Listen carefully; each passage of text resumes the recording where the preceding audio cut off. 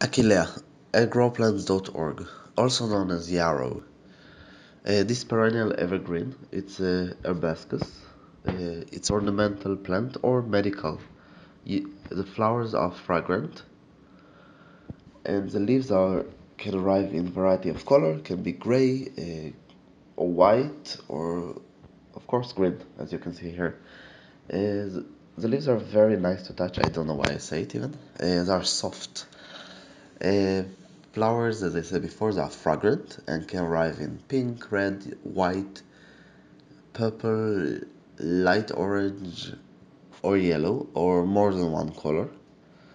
Uh, it requires well-drained soil, and the best way to start, I would say, this is from plants, because you you know what you get. You know the, uh, especially in some uh, species you have a lot of cultivars. But if you don't have cultivar in this species I would say that uh, seeds it's really easy. So there isn't problem.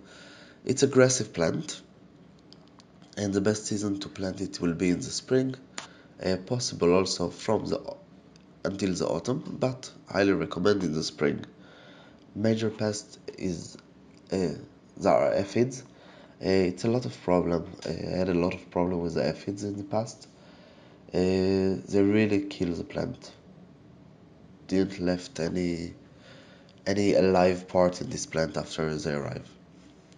It can grow from uh, 20 centimeter to 1.2 centimeters so it's mean like uh, 10 10 in, uh, 10 inch uh, to 4 feet sorry it took me time to calculate it this something like this it's a fast growing plant in the right condition require average amount of water and full sun will bloom the best. Uh, can grow in half shade, will bloom less good, so there is a major problem.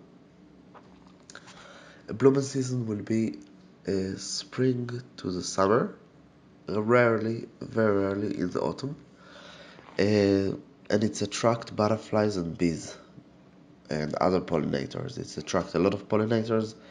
Uh, but especially butterflies. So a lot of butterfly arrive to this plant. Uh, this is not hard plant to grow. It's very beautiful. I wouldn't say on the white variety as you can see here, uh, but there is so much beautiful variety. I would recommend maybe to start to to check over in the internet. Maybe you can find a better variety because my favorite variety it will be purple with white or red with white. It's very beautiful.